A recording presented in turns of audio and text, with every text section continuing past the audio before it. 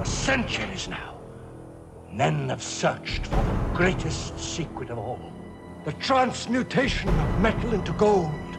To possess such a secret would mean power and influence beyond all imagination. And I am about to discover the secret. Nothing will stop me. Nothing. Nobody.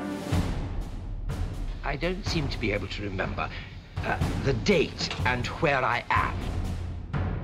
You're in my house, some miles from Canterbury. The date is June the 2nd, 1866. Creatures burst out of the cabinet, invaded the house. They ordered me to steal a box belonging to you, and thus lure you into a trap and transport you here. I see. The Daleks say I'm going to do something for them. Something I would rather die than do. If I agree, it means the creation of a race of super Daleks. And now they've got Jamie. We're all of us the victims of a higher power. Inhuman monsters. Inhuman? Creations of the devil.